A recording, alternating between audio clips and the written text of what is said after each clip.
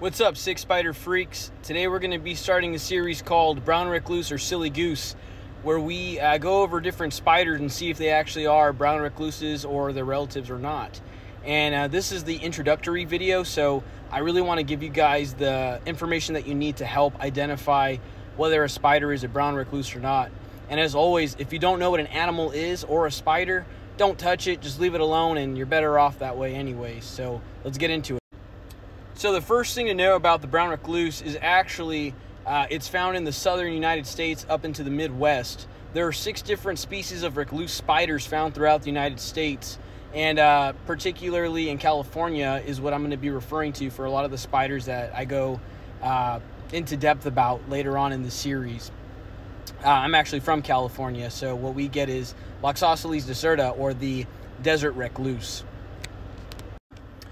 The first thing you're going to notice about any recluse species is that they are pretty small. They can only get to about 3 eighths of an inch for their body length and about an inch at most for their leg span. Um, they're very small brown spiders, uh, hence the name brown recluse. Um, and they also have fine hairs on their abdomen, which can be colored cream to almost like a darkish brown. Something to note their abdomen is not patterned in any way, it's just kind of plain colored all around, uniform colored. And same thing with the legs. You're not going to get any striping or any kind of patterns on the legs, and they're not going to have any large spines or fine hair or long hairs or anything. Another important thing to note is that although the brown recluse does have the violin shape on its carapace, not all recluse uh, species have that same violin. It's a little bit more faint, especially in the uh, uh, desert recluse. So it's not a, the best identifying feature, especially because there are other spiders uh, from different families that have that uh, violin shape as well. Another key identifying feature for the brown recluse and its relatives are the fact that it has six eyes as opposed to eight eyes, and they're split into three pairs called dyads, with two eyes on the right, two eyes on the left, and two in the middle. And again, here with this picture, you can see the violin shape that they're pretty well known for.